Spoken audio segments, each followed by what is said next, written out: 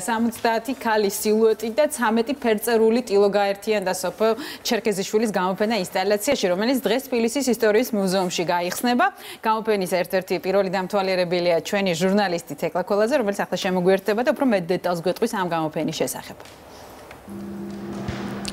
დილამშვიდობის მოგესალმებით, როგორც ხედავთ, მე ვიმყოფები ძალიან ბევრი ქალის გარემოცვაში, ასე ვთქვათ, ზურგს მიმაგრებს 70 ქალი, რომელიც განასახიერებს კავკასიონს.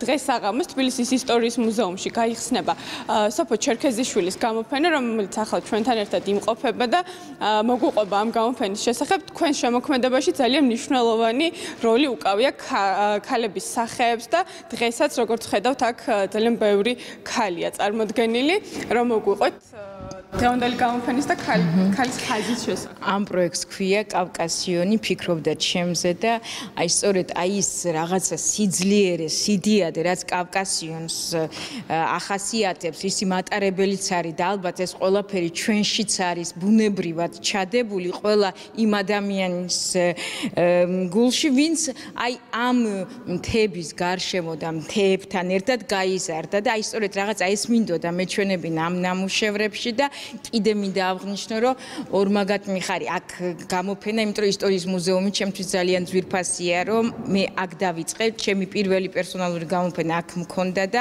რაღაცნაირად აი ეს გაგრძელდა და დღეს თუ სხვა სახით წარდექი მაყურებლის წინაშე და დიდი მადლობა. დიდი მადლობა წარმატებებს გისურვებთ. ჩვენთან ერთად ასევე იმყოფება თბილისის ისტორიის მუზეუმის გამოფენების კურატორი ქალბატონი ლიკა მამაცაშვილი, რომელიც მაგუყობა იმ პროექტის შესახებ, რომელიც ფარგლებშიც იმართება ეს გამოფენა. დიახ, სოფო ჩერკეზიშვილის გამოფენა გამოფენა იმართება თანამედროვე ხელოვნების გალერეის ფარგლებში, რომელიც 5 წლის წინ კულტურის სამინისტრომ დააფინანსა და ის არსებობს და მე დიდი იმედი მაქვს, რომ სულ იარსებებს, რადგანაც ეს პროექტი ხელს უწყობს თანამედროვე ხელოვნების განვითარებას. ჩვენ საერთოდ მთელი ჩვენი მუზეუმი ძალიან განებივრებული ვართ თანამედროვე ხელოვნებით, იმიტომ რომ 1986 წლიდან ჩვენ დავიწყეთ თანამედროვე ხელოვნების განვითარება და ხელშეწყობა. სოფო ჩერქეზიშვილი არის ერთ-ერთი წვიდვალე წარ წარმომადგენელი თანამედროვე ხელოვნები. 70 ქალი არის ერთი ქალი, ერთი ქალი არის 70 და ეს არის ჩემთვის ღვთისმშობელია. კავკასიონი ზურგს უმაგრებს ამ ღვთისმშობელს, რომელიც ხან ერთი ქალის სახით არის წარმოდგენილი, ხან კი 70-ის. და ქალები ვამაგრებთ ერთმანეთს და ვამაგრებთ კავკასიონსაც.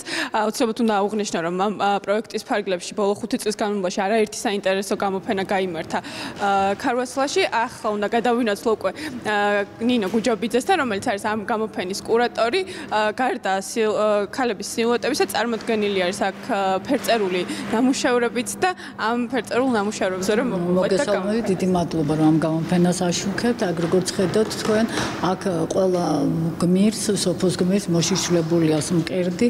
ეს ერთგვარი მიმღეობის, განხსნილობის, მზრუნველობის ნიშანია, მაგრამ ამავე დროს ის ძალიან გავს სამიზნეს და ამ დროს გიჩდება ერთი ესეთი გძნობადი აზრი, რომ ეს ჩვენი სამშობლოს მიწის ბედის წერის სიმბოლოა. დღეს 27 სექტემბერი არის ძალიან მძიმე დღეა საქართველოსთვის, ოხომის დაცემის დღეა და ამ გამოფენას ჩვენ უძღვნით ამ მომში დაღუპულ მეომრებს.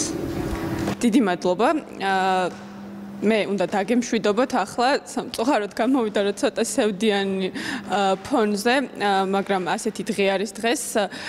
გამოფენა გაგრძელდება 13 ოქტომბრამდე და ნებისმიერ სურვალს შეუძლია მოვიდეს ქარვასლაში.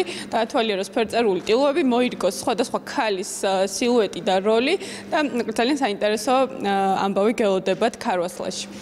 ნახვამდის დიდი მადლობა. დიდი მადლობა თეკლა. კიდევ ერთი საინტერესო ჩართვისა და ამბის გაცნობისთვის